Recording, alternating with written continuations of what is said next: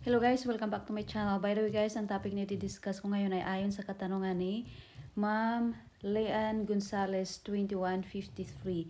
Basahin ko muna yung katanungan niya guys ha. Ito yung tanong niya.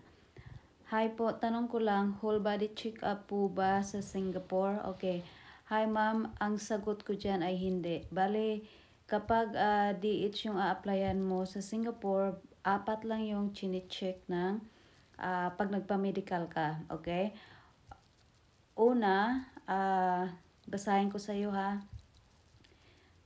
The medical examination screens the helper for four types of infectious diseases.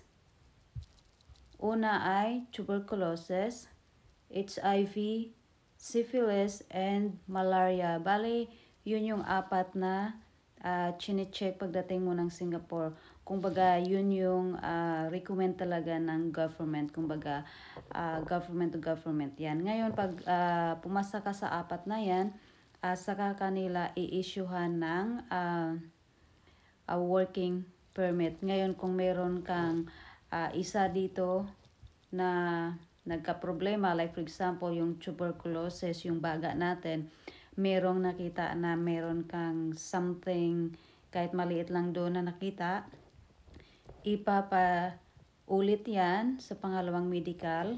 Ngayon, pag meron pa rin nakita, yung sinasabi nga nila na parang uh, scar sa baga, uh, maaaring, maaari ka nilang isend back sa Pinas or kung saang bansa ka galing. Sa agency mo, sila yung magsisend back sa'yo. Ngayon, kung pumasa ka dito sa apat na to, magkakaroon ka ng working permit.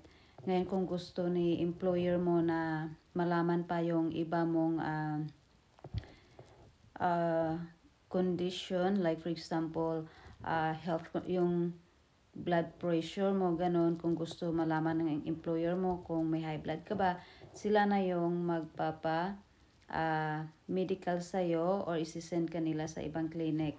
Pero yung government to government, yung apat lang guys, yung para ma-issuean ka ng working permit na uh, para makapag-work ka sa Singapore at masasabi na fit to work ka, okay?